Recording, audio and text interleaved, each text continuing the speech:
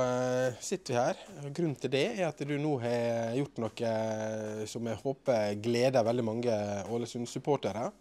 Kan du fortelle, hva er det du har gjort nå?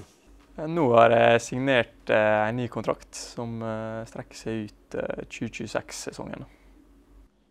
Gratulerer med det. Takk for det. Det setter vi veldig stor pris på. Helst, som, jeg sa, mange også eh, vil nok eh, sette den eh, avtalen høyt. Og eh, Hvorfor eh, signerer du nå en ny, ny avtale? Klubben ligger jo eh, litt nede i, under der vi hadde håpet vi skulle ligge nå, men du signerer nå en ny avtale som strekker seg et par år fram i tid. og Hvorfor gjør du det?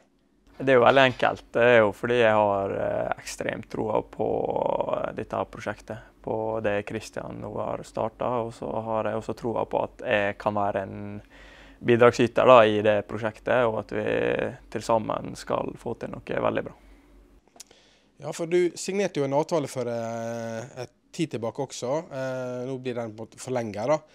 Og Da husker jeg du sa at du, eh, et av målene dine var å etablere seg og, og få spille i Eliteserien. Og eh, Fortell litt, hva har skjedd siden forrige avtale ble signert?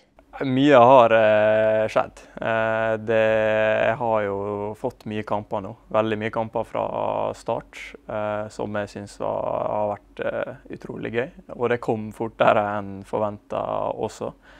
Eh, og det er ekstremt gøy. Det har vært eh, veldig lærerikt, og jeg syns jeg har tatt store steg i løpet av den perioden jeg har hatt. da. Hva har liksom vært høydepunktet ditt da i den perioden? her? Altså Når du har liksom fått plassen på laget nå, og hva er det som stikker seg ut som et, det store øyeblikket for din del?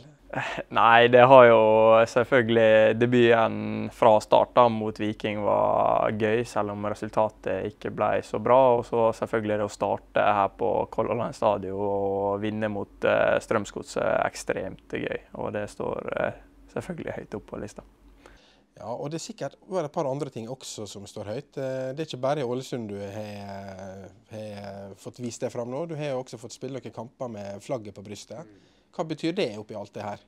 Nei, selvfølgelig det betyr uh, mye. Uh, å spille på landslaget er jo en drøm og noe alle vil. Så å spille på landslaget er en ekstremt gøy bonus, da, på en måte et tillegg til det vi har, det har i hverdagen her.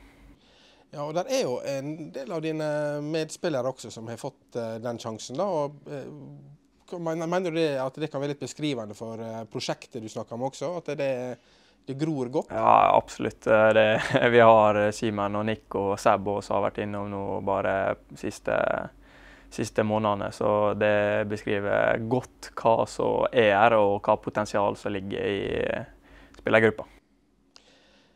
Og ja, Du er jo godt på vei mot eh, å oppfylle en del av drømmene, men det starta jo en plass også, dette her. Hva, kan du fortelle litt om det? Hva er bakgrunnen din før du, før du endte opp der du er, er nå? Jeg starta jo fotballkarrieren i eh, SIF, da, som senere ble SIF-SA. og Det var der jeg la grunnlaget. Det var der jeg fant ut at uh, fotball er dritgøy, og at dette her var noe jeg ville, virkelig ville satse på. da. Så det har SIF og senere SIF-SA vært en uh, stor bidragsyter for. Og den gruppa jeg hadde der med et par veldig gode kompiser i spissen, som uh, vi trente veldig mye i lag, gjort denne reisen her, da, starta denne reisen her for meg. Vi ønsker deg lykke til, og så takker vi for tida di. Og kjekt å kunne være med på intervjuet i dag.